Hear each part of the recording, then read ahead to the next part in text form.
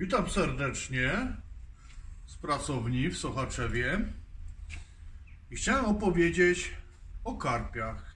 Jutro jest Wigilia, wspaniały dzień, Wigilia Narodzenia Pana Jezusa. No ale o karpiach po żydowsku chciałem, bo wszyscy znają moją rzeźbę, jak jest taka biała y, ryba przebita menorą. Rzeźba pod tytułem Dialog. Rzeźba pod tytułem Dialog. A co o karpiach? Karpie po żydowsku to już są nawet takie dowcipy, że e, kupić taniej, sprzedać drożej. Ale skąd się to wzięło? E, e, Żydzi to była przeważnie biedota w dawnej Polsce i oni cierpieli głód. I na przykład ojciec Romana Admowskiego, który miał wstawy, to żeby z głodu Żydzi nie pomarli, to im y, z tych stawów łowił ryby i raz w tygodniu za darmo dawał. I tak, tak, tak Polacy podchodzili do, do tego, żeby z głodu nie umarli. Myśmy ich tam ciągle gdzieś musieli ratować. No i trzeba wiedzieć, że Żyd znaczyło zawsze, że jest powiązany z biedą i z brzydotą. To dwie takie cechy y, żydowskie, biedota i brzydota, no nie?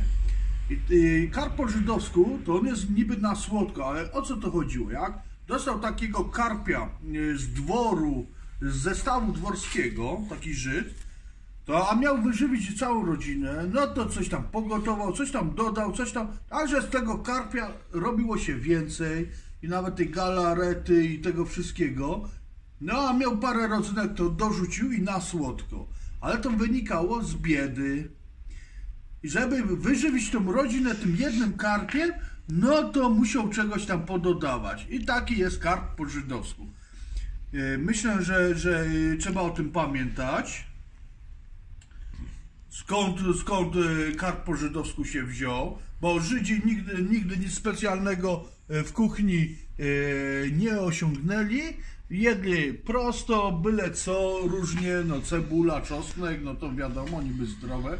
No ale e, to są takie, e, kuchnia żydowska jest bardzo prosta, nieskomplikowana, a oni mają wysokie mniemanie o- sobie i nawet spotkałem jednego Żyda, który mi udowadniał, że y, tysiąc lat temu y, y, Żydzi mieli placki ziemniaczane. No tylko szkoda, że, że y, to Kolumb dopiero ziemniaki do Europy przywiózł.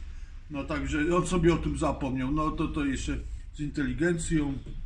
No także, że tak to z karpiami bywało, że dostawała biedota żydowska karpie i tego jednego karpia musiał y, tym jednym karpiem obdzielić całą rodzinę i to była, był karp po żydowsku, że tam powrzucali choć czego i robił to na słodko czy na coś tam, no bo tam jak wrzucił rodzynek, no to albo czegoś tam, czy nawet cukru jak dostawali od polskich panów, yy, no to, to posłodził tego karpia, no bo już miał i cukier nawet. Także yy, wesołych świąt życzę, smacznego karpia, niekoniecznie po żydowsku, tylko normalnie upieczonego po polsku, także yy, dla telewizji narodowej, dla Was, dla wszystkich Polaków, szczęść Boże i co by się darzyło.